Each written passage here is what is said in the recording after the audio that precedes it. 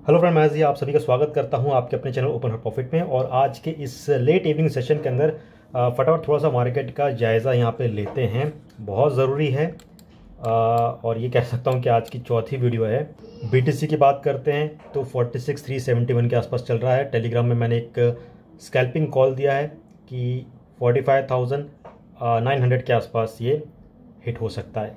Ethereum है और इसकी प्राइस चल रही है थर्टी सेवन फोर्टी सेवन के आसपास चल रही है। इसमें थोड़ी सी एक शॉर्ट कॉल है। पॉसिबल है, वो मैं आप लोग के साथ अभी शेयर करूँगा। B N B five twenty one के आसपास चल रहा है। बी एन बी पे खास तौर से नज़र रखना। लास्ट टाइम भी आप लोग को कहा है कि बी एन बी को उठाने का एक सही रेंज जो है, चार सौ सत्तर, चार सौ अस्सी के आसपास तो बेड डाल के छोड़ दो, ठीक है? और अगेन जितने भी कॉल कोइंस हमने कवर किए हैं, सबके अंदर एंट्री लेना है, ये ध्यान रखो, ठीक है? क्योंकि मौका मिलेगा नहीं। मार्केट में जो फियर और ग्रेड इंडेक्स देखते हैं अगर हम यहाँ पे तो वो भी फियर के अंदर है। राइट नाउ ट्वेंटी नाइन के आसपास चल रहा है। अगर थोड़ा सा अगर नीचे आता है फोर्टी फाइव के आसपास आता है तो ये हमको वापस से बीस के आसपास दिख सकता है। बीटीसी की बात करते हैं बीटीसी में क्या करना है? देखिए चार्ट अभी तो शो आपको नहीं कर पा रहा हूँ बट वन डे का चार्ट है BTC का, और जो चार्ट में पैटर्न्स बने हैं, उस चार्ट के पैटर्न्स का एक हिस्सा जो है 2018 के पैटर्न के एक हिस्से से मेल खा रहा है ओके और, उसको लगा के रखा है ऑलरेडी मैं आपको टेलीग्राम पे वो पैटर्न वगैरह सारा शेयर कर दूँगा। तो अभी तक कह सकते हैं कि लास्ट चार पाँच हफ़्ते जो हैं, हूबहू उस पैटर्न के हिसाब से प्राइस की मूव चल रही है। और summer of 2022 will be very exciting for the alt coins alt coins अभी क्यों नहीं बढ़ रहे हैं? थोड़े थोड़े बढ़ रहे हैं। बिकॉज़ जो बड़े खिलाड़ी हैं उनको बीटीसी के अंदर भी एंट्री लेनी है। 44,700 के आसपास अच्छा खासा बाइंग प्रेशर दिख रहा है और यहाँ से हम एक बाउंस बैक एक्सपेक्ट करते हैं। और एक क्विक टारगेट जो होगा मैं आपको बता रहा हूँ फिफ्टी सिक्स थाउज़ेंड तो आप पकड़ के ही रखो वहाँ तक जाएगा ओके और जितने भी ओल्ड कॉइन्स हैं ना, उन सभी ओल्ड कॉइन्स के अंदर, बेहतर ओल्ड कॉइन्स है सबके अंदर एक्यूमुलेशन चल रहा है। मार्केट में फियर होने दो। जब तक मार्केट में फियर नहीं आएगा तो भैया प्रॉफिट में बिल्कुल मज़ा नहीं आएगा। ओके तो सब में एक्यूमुलेशन चल रही है और झटके से सब पंप करेगा, बैठे के बैठे रह जाएँगे लोग। ओके ये याद रखना बात मेरी। एल सेल्वाडोर की तरफ़ से भी जो ट्वीट आया है, उसमें क्लियर कट लिखा है कि उन्होंने और BTC वगैरह बाय किए हैं। और बिटकॉइन सिटी की तैयारी हो रही है, ये होने वाला है, फलाना फलाना होने वाला है। तो सबने कुछ इन्वेस्टमेंट किया तो कुछ ना कुछ तो दिमाग में रखा है। चलो, एकदम बड़ी छलांग नहीं मारेगा बीटीसी लेकिन ऑफकोर्स अपने ऑल टाइम हाई के आसपास ये ज़रूर मारेगा। ये बात आप मेरी याद रखना।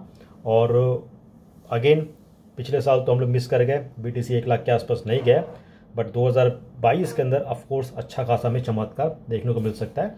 ये मैं आपको कोई ज़बरदस्ती मोटिवेट नहीं कर रहा हूँ या कुछ पॉजिटिविटी नहीं दे रहा हूँ बिटकॉइन को कि हाँ ऐसा पॉजिटिव रहो पॉजिटिव रहो, नहीं। मार्केट के स्ट्रक्चर को फंडामेंटल को पकड़ के क्या चला है, उन सबको मद्देनज़र रख के मैं ये सारी चीज़ें बता रहा हूँ। ठीक है टेक्नोलॉजी किस लेवल पे जा रही है ग्लोबलाइजेशन किस हिसाब से हो रहा है अडॉप्शन किस हिसाब से हो रहा है, उन सबको ध्यान में रख कर ये मैं आपको कह रहा हूँ ओके और ये भी हो सकता है कि 2022 के अंदर हमें 2021 जैसी तेज़ी ना देखने को मिले, लेकिन फिर भी एक अच्छी खासी तेज़ी हमें ज़रूर मिलेगी कि हम एक नए लेवल पे बीटीसी को देखेंगे।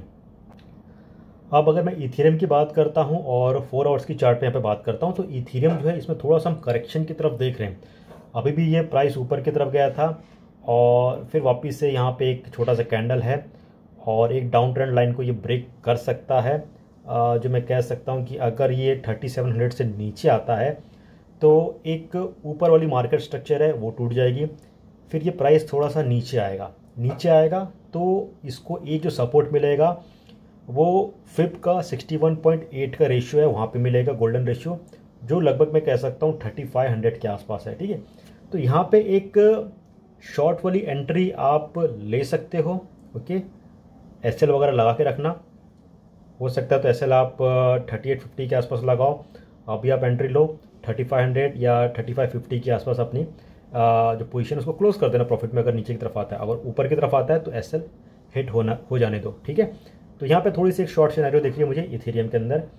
और नेक्स्ट मैं यहाँ पे आता हूँ बाइनेंस के कॉइन के ऊपर आता हूँ, क्या करना चाहिए? एक बेहतर एंट्री जो मिलेगी मेरे हिसाब से, मैं वापस से देख रहा हूँ, चार सौ सत्तर चार सौ साठ four sixty two four seventy के आसपास मैं एक उम्मीद कर रहा हूँ अच्छी एंट्री की, क्योंकि उस लेवल पे फिब का फिबोनाची का 61.8 का एक हमें लेवल मिल रहा है। और अगेन ये एक डिसेंडिंग वेज पैटर्न है। थोड़ा सा अगर नीचे आके, फिर वहाँ से अगर ये ऊपर उठता है अच्छा खासा ब्रेकआउट होगा, जो BNB को इस साल के अंदर तो ऑफकोर्स 800 से लेके 1000 तक जाएगा, जो मैंने आप लोग को पहले भी कहा है। सिर्फ़ क्या रह जाता है?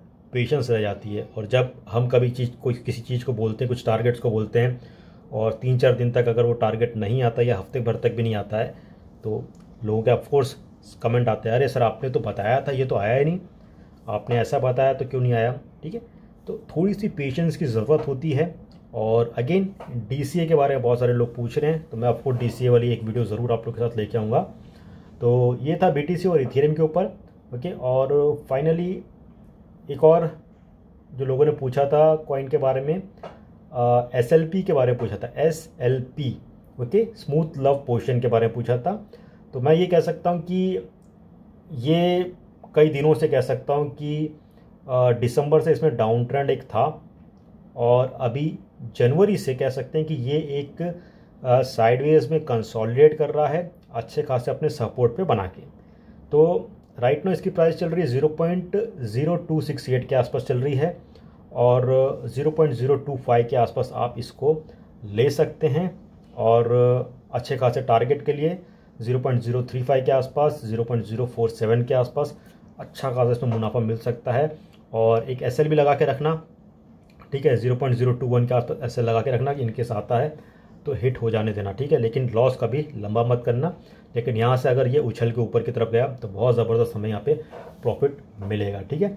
तो ये जस्ट एक क्विक अपडेट था ऑन बीटीसी क्योंकि बहुत सारे लोग के वापस से मैसेज आ रहे हैं कि भाई, क्या होगा? BTC वापस से नीचे आ रहा है फोर्टी सेवन थाउज़ेंड के लेवल को तोड़ दिया है, अब क्या करना चाहिए? हम कुछ बाय करें या ना करें? तो अगेन मेरे हिसाब से forty four thousand seven hundred के आसपास एक अच्छा खासा हमें बाउंस बैक मिल सकता है।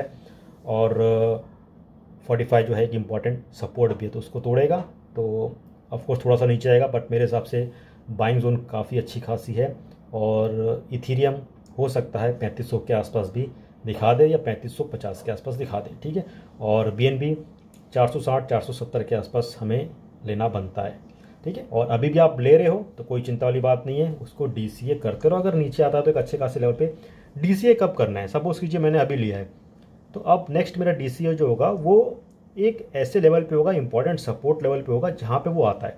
ऐसा नहीं कि मैंने अभी लिया, फिर पाँच डॉलर नीचे चले गया तो मैंने वापस से बाय कर लिया। ठीक है, ऐसे नहीं। एक अच्छे गैप पे होना चाहिए, ताकि आपका एवरेज बने।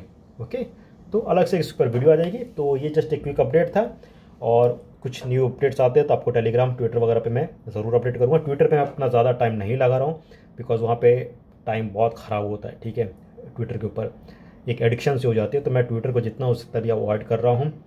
मेन फोकस है old coins charts B T C Ethereum ठीक है? यही टाइम है जब आपको हमको हाथ मारना है और हाथ अगर सही तरह से मार दिया हमने, ले लिया ऑल्ड कॉइन्स तो पूरे साल का जो प्रॉफिट है सिर्फ़ दो महीने के अंदर हमें मिल जाएगा। ठीक है? इस वीडियो को भी वाइंड अप करता हूँ। जल्द मिलेंगे, तब तक टेक करें हैव ए ग्रेट डे